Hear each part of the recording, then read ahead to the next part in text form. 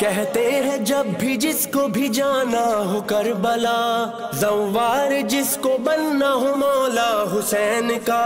लाजिम है इसके वास्ते अब्बास की रिजा, अब्बास की रिजा, अब्बास। अब्बास बुला लो, जवार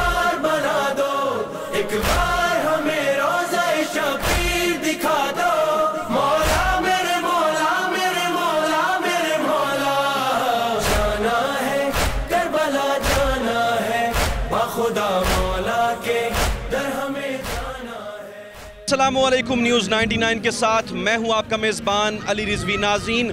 आज के प्रोग्राम में हम आपको सफ़र इश्क पर लेकर चलेंगे।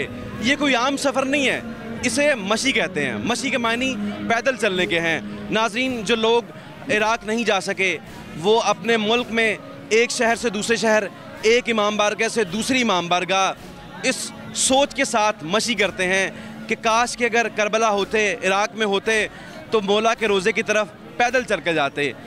चूँकि इस साल हम इराक़ नहीं जा सके, अपने मुल्क में मशी करबला की शबी मशी कर रहे हैं ताकि सैद शुदा की याद को ज़िंदा रख सकें। आज आपको सफ़र इश्क पर लेकर चलते हैं।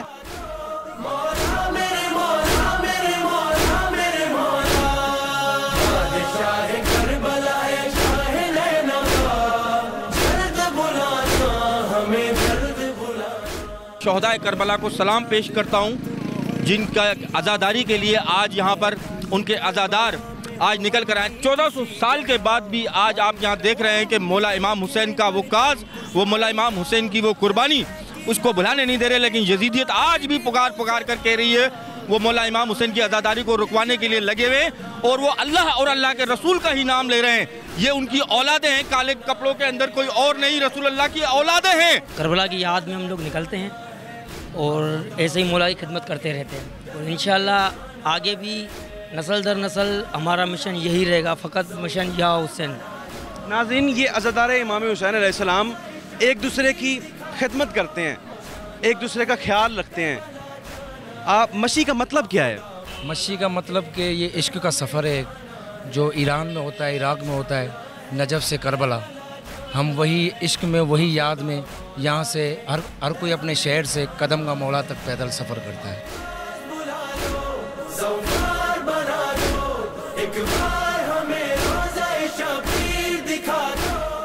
ये आशकान इमाम हुसैन सलाम हैं। इस इश्क के सफ़र में आपको बच्चे, बूढ़े, जवान और माजूर अफराद भी मिलेंगे। बीबी जैनब सलाम की जो याद में जो अपने भाई हुसैन के लिए वो उनके चेहलम मनाने के लिए आई थी तो हम उनकी याद में आ जा रहे हैं तो हर, साल हम चेहलम पे आते हैं यहाँ पे। कितने किलोमीटर्स का आपने फासला तय किया है? हमने कोटी से लेकर ये कदम गाए मौला अली का सलाम यहाँ तक का फासला किया है। नाजीन ये मौकब है और इस मौकब में जो लोग आते हैं थक जाते हैं उनको यहाँ पानी पिलाया जाता है उनको खाना खिलाया जाता है उनकी खिदमत की जाती है। ये खिदमत गुजार जो हैं, अफसरदा हैं। सारा दिन अज़ादार इमाम हुसैन की खिदमत की है और अभी जो है, इनका मौका खाली हो गया है। ये परेशानी में बैठे हैं कि काश वो अज़ादार दोबारा आएँ और ये इसी तरह सिलसिला चलता रहे और हम अज़ादारों की खिदमत करते रहें। हम सुबह से फजर से यहाँ पे मौजूद हैं ज़ायरीन की खिदमत में। अब हम बहुत परेशान हो गए, हमारा मौक़ खाली हो गया है, ज़ायरीन सारे चले गए हैं। हम इंतज़ार कर रहे हैं, मौला और ज़ायरीन को भेजें, हम उनकी खिदमत करें। लोग आ रहे हैं, जा रहे हैं, सन्नाटा हो गया हमारे मौक़ में, मगर हम बैठे हैं इंतज़ार में मौक़ खाली ना हो, हमारी ख्वाहिश है, हम अजादारों की खिदमत करते रहें।